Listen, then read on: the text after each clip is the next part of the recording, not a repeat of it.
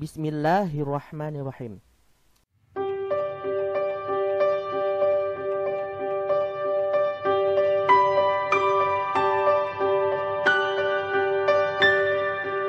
Umayyah, Abbasiyah, sampai Utsmaniyah bukan khilafah Islam.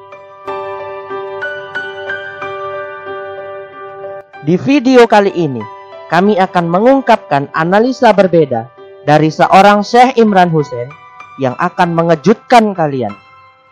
Bahwa Kesultanan Bani Umayyah, Abbasiyah, sampai Utsmaniyah bukan khilafah Islam. Ditambah lagi bahwa penaklukan Konstantinopel 1453 itu bukan yang dinubuatkan Nabi. Analisa akhir zaman ini tentu mengagetkan karena selama ini kita sering mendengar ceramah analisa hadis yang kebanyakan seperti itu. Pelajaran sejarah kebudayaan Islam yang diajarkan di madrasah pun seperti itu. Dan pada akhirnya kita tidak bisa menjelaskan fenomena akhir zaman dengan jelas sesuai dengan fakta geopolitik yang terjadi di zaman now ini. Semoga kita tetap istiqomah mencari kebenaran ketika di dunia maya. Amin.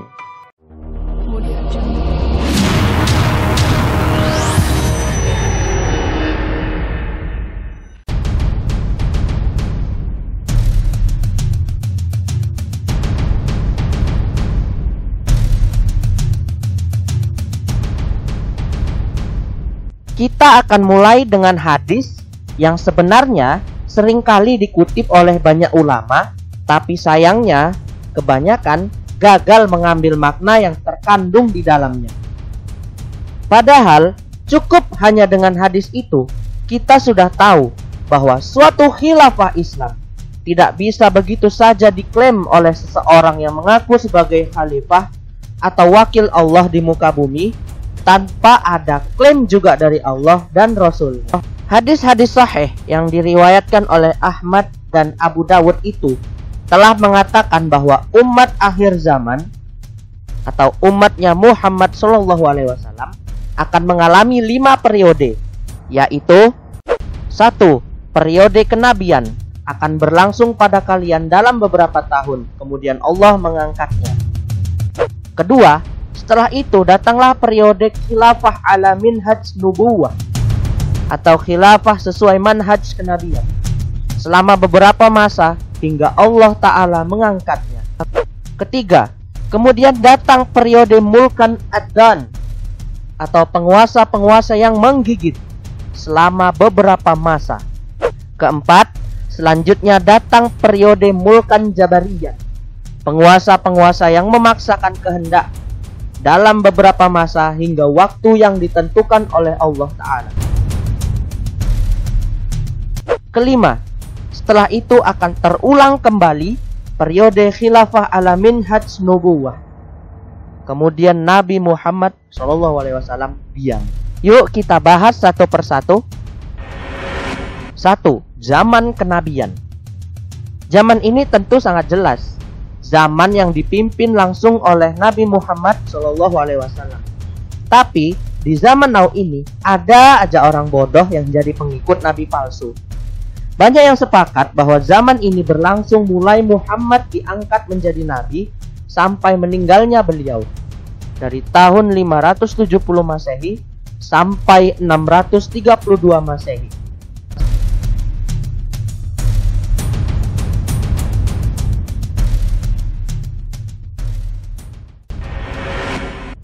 Dua, zaman Khalifah Islam pertama. Ini adalah khilafah yang sesuai dengan manhaj kenabian. Setiap Islam Sunni meyakini bahwa ini adalah masa Khulafaur Rasyidin. Ada Khalifah Abu Bakar, Umar, Utsman dan Ali dari tahun 632 sampai 662 Masehi. Sedangkan Islam Syiah memang meninggikan Ali, tapi tidak semua dari mereka sampai menuhankan ahli, mencela sahabat dan Aisyah. Syiah masih banyak juga mazhabnya. Menurut Syekh Imran Hussein, konflik Sunni Syiah sudah tidak relevan di zaman now. Sementara Zionis terus bergerak maju hingga ingin menghancurkan negara Islam Sunni dan Syiah.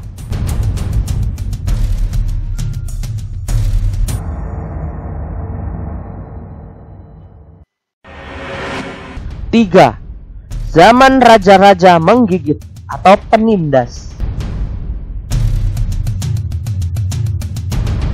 Setelah masa Khulafaur Rashidin, ada tiga pemerintahan yang mengklaim sebagai khilafah Islam, yaitu Khalifahan Umayyah dari tahun 662 Masehi sampai 750 Masehi, Abbasiyah dari tahun 750 Masehi sampai 1258 Masehi dan Utsmaniyah dari tahun 1294 Masehi sampai 1924 Masehi.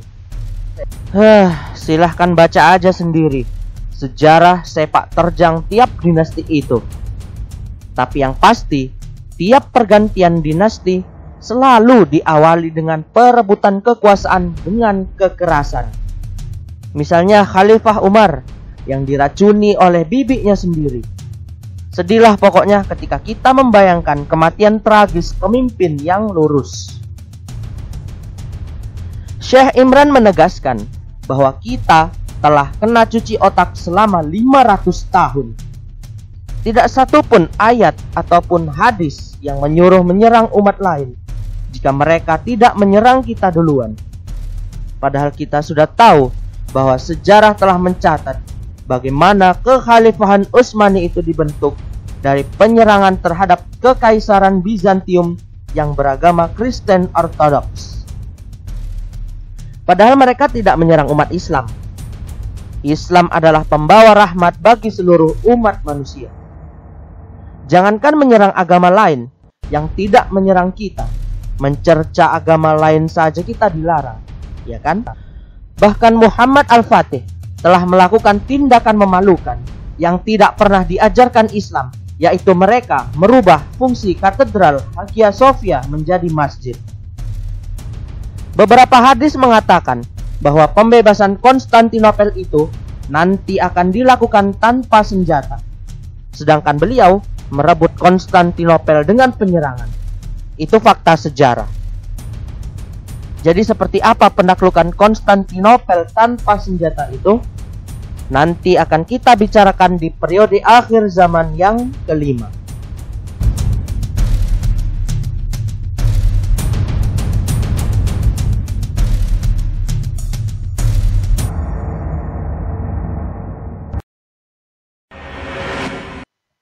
Empat, Zaman raja-raja pemaksa atau diktator.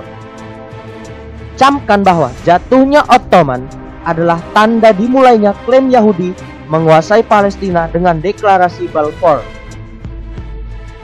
Beberapa tahun setelah ambruknya kekaisaran Utsmani yang dianggap khilafah Islam itu, lalu berdirilah kerajaan Saudi.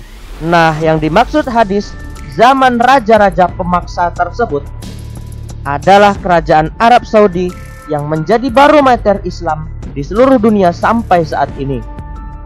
Rasanya tidaklah mungkin kita identifikasi sebagai Iran atau Mesir atau Indonesia. Karena dalam hadis sahih lain disebutkan berakhirnya fase keempat itu adalah tanda munculnya Imam Mahdi dari Madinah yang akan membentuk khilafah Islam terakhir.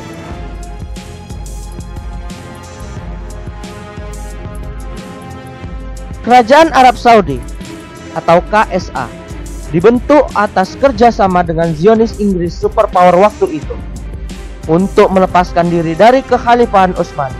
Kami sudah membahasnya di video kami. Mudah-mudahan Anda tidak kaget menonton. Tidak bisa dibantah memang kelakuan penguasa Saudi. Maksudnya bukan seluruh rakyat Saudi ya. Di kancah politik dunia sangat membingungkan kita keterlibatannya dalam kekerasan-kekerasan yang dilakukan bersama dengan sekutunya Amerika Serikat dengan militernya NATO terlalu banyak. Mulai dari keterlibatan dalam penghancuran Libya, keterlibatan dalam penghancuran Suriah, keterlibatan dalam peristiwa WTC, keterlibatan dalam pembentukan kelompok-kelompok radikal di Tinteng seperti El Nusra dan ISIS sampai dengan secara terang-terangan membantai umat Islam di negara paling miskin di Tinteng Yaman. Kami juga telah merangkum empat dosa KSA yang paling parah terhadap umat Islam. Tapi bukannya para penguasa Saudi itu bagus. Mereka kan telah membuat fasilitas haji yang luar biasa. Sampai memberi makan minum gratis dan mengurus Masjidil Haram dengan baik. Al-Quran Surat At-Taubah telah menjawab pertanyaan tersebut. Apakah orang-orang yang memberi minuman orang-orang yang mengerjakan haji dan mengurus Masjidil Haram kamu samakan dengan orang-orang yang beriman kepada Allah dan hari kemudian serta berjihad di jalan Allah? Mereka tidak sama di sisi Allah. Dan Allah tidak memberi petunjuk kepada kaum yang zalim. 5. Zaman khilafah Islam terakhir tentang fase khilafah kelima ini, hadis sudah sangat jelas mengatakan dengan kalimat, setelah itu akan terulang kembali periode khilafah ala minsad nubuwah. Maknanya, khilafah Islam itu hanya akan terjadi dua kali, yaitu zaman khulafah rasidin dan khilafah terakhir setelah periode raja-raja pemaksa. Coba dipahami ulang kalimat hadis itu. Karena banyak hadis lain yang menyebut Imam Mahdi akan membentuk khalifah akhir zaman menjelang kemunculan Dajjal. Maka dengan gampang kita menyimpulkan bahwa kekhalifahan Islam yang dimaksud hadis di atas adalah khilafah yang akan dibentuk oleh Imam Mahdi. Makmurnya Baitul Maqdis Artinya Israel sudah lama berjaya menjadi kekuatan yang tidak bisa dikalahkan negara superpower pengganti Amerika Serikat dan menjadi tanda bahwa yang pertama sekali dilakukan pasukan Imam Mahdi adalah menaklukkan KSA yang selalu menjadi kaki tangan Zionis. Lalu, tak lama terjadi perang nuklir dua negara superpower atau Al-Malhamah. Lalu, ada pula peristiwa penaklukan Konstantinopel tanpa senjata dan pertumpahan darah serta hanya dengan kalimat tauhid. Ini hadisnya. Pernahkah kalian mendengar satu kota yang satu sisinya ada di daratan sementara satu sisi lain ada di lautan? Mereka menjawab, "Kami pernah mendengarnya, wahai Rasulullah." Beliau berkata, "Tidak akan tiba hari kiamat sehingga 70 ribu dari keturunan Nabi Ishak menyerang kota tersebut." Ketika mereka maksudnya Bani Ishak mendatanginya, maka mereka turun. Mereka tidak berperang dengan senjata. Tidak pula melemparkan satu panah pun. Mereka hanya mengucapkan la ilaha illallah wallahu akbar. Maka salah satu sisinya jatuh ke tangan kaum muslimin. Saur, salah seorang perawi hadis pun berkata, Aku tidak mengetahuinya kecuali beliau berkata, yang ada di lautan. Kemudian mereka mengucapkan untuk kedua kalinya, La ilaha illallah. Akhirnya salah satu sisi lainnya jatuh ke tangan kaum muslimin. Lalu mereka mengucapkan untuk ketiga kalinya, La ilaha illallah wallahu akbar. Lalu diberikan kelapangan kepada mereka. Mereka masuk ke dalamnya dan mendapatkan harta rampasan perang. Ketika mereka sedang membagi-bagikan harta rampasan perang, Tiba-tiba saja datang orang yang berteriak meminta tolong. Dia berkata, "Sesungguhnya Dajjal telah keluar." Lalu mereka meninggalkan segala sesuatu dan kembali. Hadis riwayat Muslim. Hadis tadi semakin menguatkan bahwa penaklukan yang akan terjadi di Konstantinopel atau Turki hanya akan terjadi setelah Al-Malhamah menjelang keluarnya Dajjal.